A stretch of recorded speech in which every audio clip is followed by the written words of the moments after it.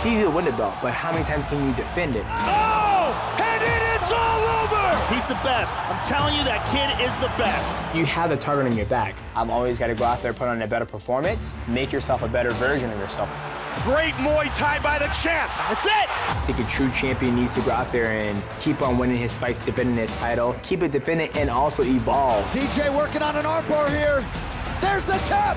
The winning streak is now a dozen for Demetrious Johnson. If I am able to go out there and win this fight, I'll be the longest reigning UFC champion ever in history. DJ's been the man of the flyweights for a very long time. Every fight he had, I was more and more determined to beat him. It's always been about beating DJ. He's never faced anybody as young and hungry as I am. I ain't got a damn thing to lose, and it's gonna make for a dangerous fight. Oh, there's the tap! Ray Borg! DJ, I'm coming!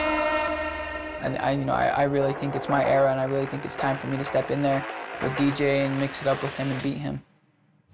I'm not in there to be his stepping stone. I'm not in there to be his 11th trophy win.